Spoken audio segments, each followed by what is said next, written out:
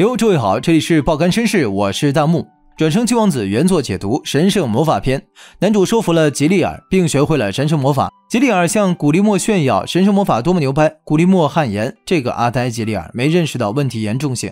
男主如今一手伏魔，一手遮天，同时拥有支配天界和魔界的力量，魔王的宝座也唾手可得。男主对于如此简单的就学会了神圣魔法而感到可惜。听得吉利尔有点无语。男主解释，想要享受过程，不光看现象的表面，而是透过细心探究，再将构成术式的每一个细节理解明白，然后将其中谜题化解，并且在不断的细品后，就可以在术士的笔端窥见先哲的面孔，所以他才不会对学习魔法而感到厌恶。突然，男主对自己刚才的讲话有些害羞，急忙岔开话题，准备测试一下神圣魔法，问吉利尔光武是不是神圣魔术。吉利尔表示是的，光武会随施法者的不同而改变外形，让男主试试制造剑。吉利尔之前在想，男主来天界学习神圣魔法到底有什么目的？但是听过他刚才的一番言语后，没想到竟然如此的纯真无邪，单纯就是想学。有点理解古力莫一直跟随男主的理由。古力莫傲娇才不是，只是有一天要占据他的肉体。男主先是做一把七支剑。吉利尔穿过手心的一层皮，感受到这个少年的毫不虚假、纯真无垢、天使一样的专一，就像那一位曾经他认可的那一位一样，一个一个深挖探寻。这会儿，男主的七支刀变成了异形的触手一样扩展。吉利尔一边呆呆看着男主变触手庞大的异形，一边沉浸回忆感叹：“哎呀，作为神之使的咱，差点忘记，不是虚有其表的，自己也是这个少年的内心的那个深处。”突然脑子短路呆住了，眼前那个不知道怎么形容的大钳子大触手，铁骨隆隆的庞大深渊异形，就是男主的光武。吉利尔和古力莫都瞠目傻笑，一节节由神圣魔法构建而成的骨架正在逐渐成型，不多时便已长成了庞然巨物。天界那高耸入云的钟楼也不值一提。这俩早已从先前惊讶转为了惊恐。男主光武的不断展开，最后碰到次元壁，次元壁在他面前也脆如玻璃，在接触的瞬间破碎瓦解。神明制定的至高法则在他面前也毫无作为，天界也因为他的出现一点点崩坏。眼前这恐怖的一幕，瞬间让俩使魔俨然见鬼画风。古力莫急忙叫停男主：“亚梅蝶，这个亚梅蝶，这叫哪门子的光武？不是说剑吗？这哪里是剑啊？巴嘎巴嘎，呀哒呀哒。”罗伊德大人好怕怕，男主依然然哇哭哇哭，想让古力莫也好好看看。转头发现，哎呀，你咋变瘦了？古力莫无语，这时候还说什么呢？男主小失望。表示才展开一半了，这句话让吉利尔目瞪口呆。虽然光武会随着使用者的魔力和性质进行改变形状，但是眼前这玩意无论是尺寸还是造型都太离谱。不过仔细观察后，又觉得他的光武如同大天使的八对翅膀，散发着神圣感。古力莫听完后惊呼道：“你脑子没问题吧？明明超过八对了，眼前这怪物怎么看出神圣感？”吉利尔不理他，觉得是天命让他俩相遇。少年不，罗伊德大人，请让我陪伴左右。古力莫那叫一个嫌弃。乌鲁塞，别来呀！与此同时，巴比伦来到了教堂的一处花园。演员闻到异样臭味，判断这是血肉腐烂之后产生的异味。虽然有人想用玫瑰的香气将其掩盖，虽然不想打草惊蛇、引火上身，但这也有可能是男主在寻找神圣魔法的线索。姑且调查一番。突然，一个声音在他耳边响起：“你是迷路了吗？”一个陌生老绅士突然闪现，巴比伦丝毫没有察觉。对方表示：“这里的教会可是很大的，让我来为你带路吧。这边请吧。如果是来听演奏会的话，会场。”可是在另外一边，我来为你带路吧。巴比伦表示他喜欢玫瑰，想多看看。对方表示如此难得的演唱会，还是去听下的好。巴比伦反问：那你为何不去听下呢？对方微笑回答：因为自己是神父，神父的职责是。引导迷路的客人，引导信徒。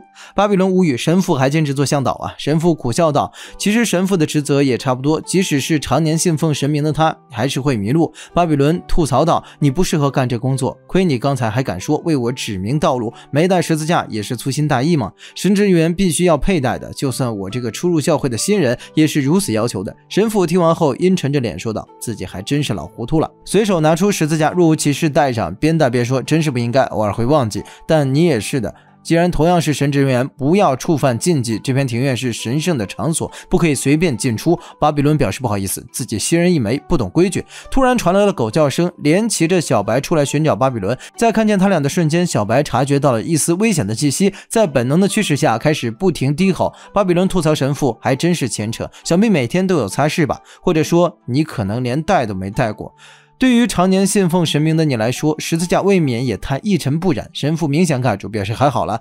然后看着发抖的小白，吐槽这旺仔也是好漂亮的毛发，是一条被细心照料的乖狗狗。就在他俩即将动手之际，学成归来的男主从天而降，乌云中透露出一道金光。男主好奇，大伙都出来了。男主和神父擦身而过，明暗分明，表情里透着妥妥的浮现。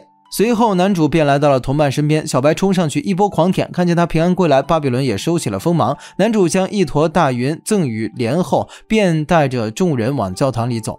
而男主手掌上的吉利尔在看见神父的背影后，露出了诧异的表情。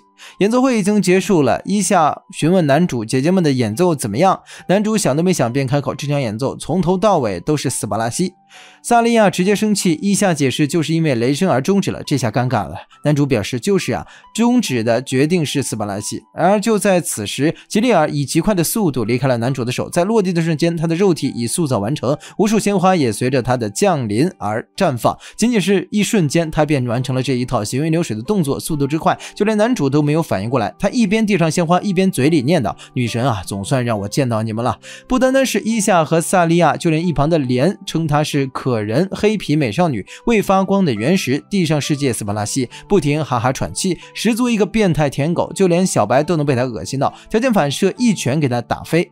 男主让大家放心，色胚子已经被小白收拾掉了，同时提醒姐姐们要多加小心，毕竟他俩现在可是大红人。可伊夏觉得这个声音好像在哪里听过。这时巴比伦很客气的问他：“教会后面庭院是教会的神圣场所吗？”伊夏让他不用客气，然后那个土地是各位信徒用来埋葬宠物的地方。巴比伦想了一下，再次询问是否见过一个很高的神父，因为今天的演奏会有很多教会支部的神职人员来捧场。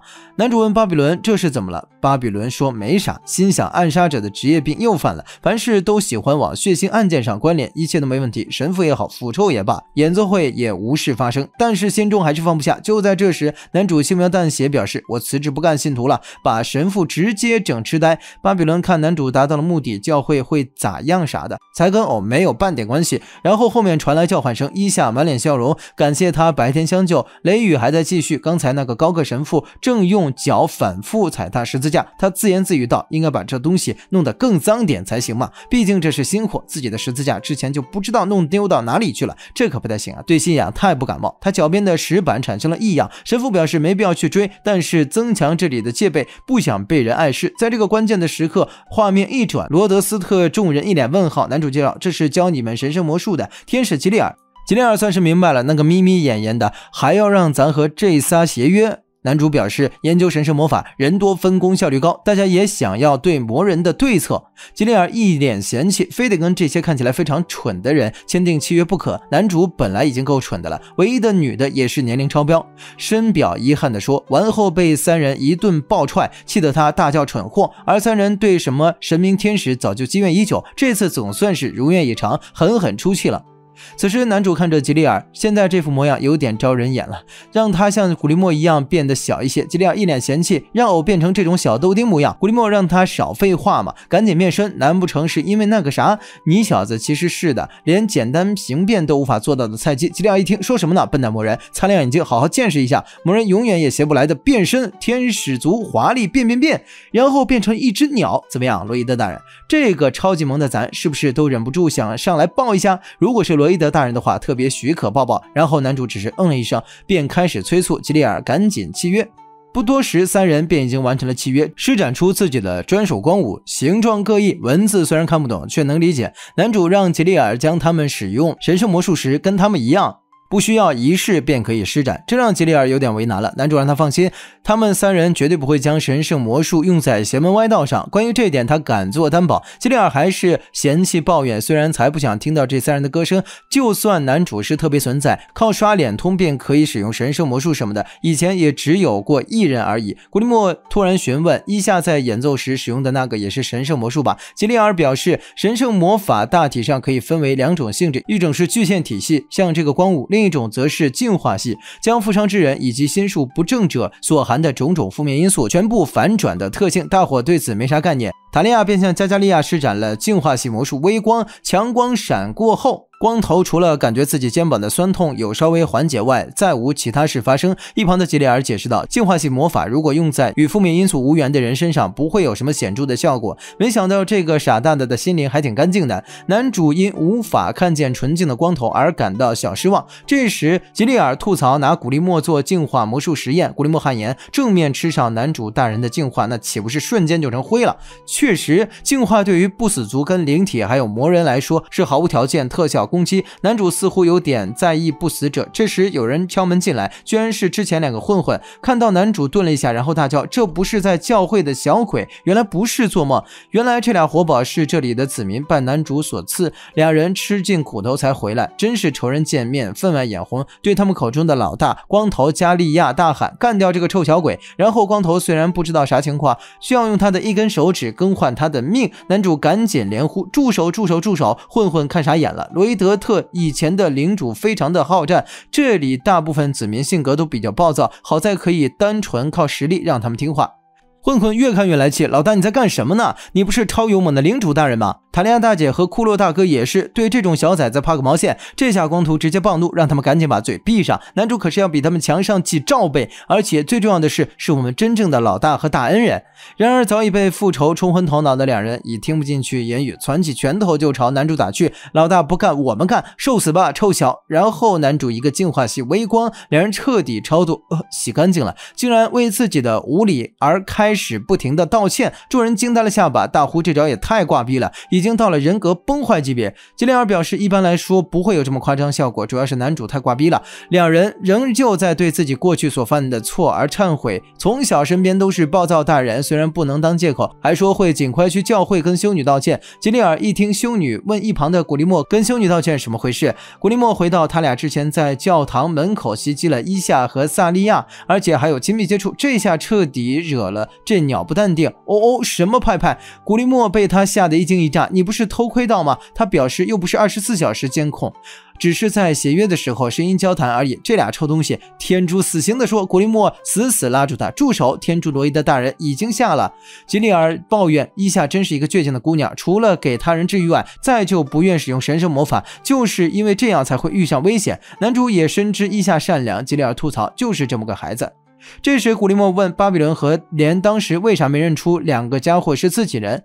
塔利亚表示，巴比伦从不干涉领民，连一直住在王宫里，也不知道这里的事。听到这里，这两个小弟瞬间不淡定了。也就是说，那个眯眯眼和小女仆就是在背后支持大哥的罗伊斯特四大天王中的其他两位。塔利亚让他们住口，四大天王什么太社死了。男主觉得很逗，不过很快他就笑不出来了。小弟们觉得，既然男主大人比老大还要厉害，那么就是真老大，应该说是魔王大人。好了，今天暂时先讲到这里，欢迎留言讨教。喜欢我们的内容就请点个赞、订个阅，随时关注我们。弹幕会为你带来更多精彩动漫内容，我们下期再会。如果喜欢的话，还请点个赞、点个订阅，弹幕将给大家带来更多精彩内容。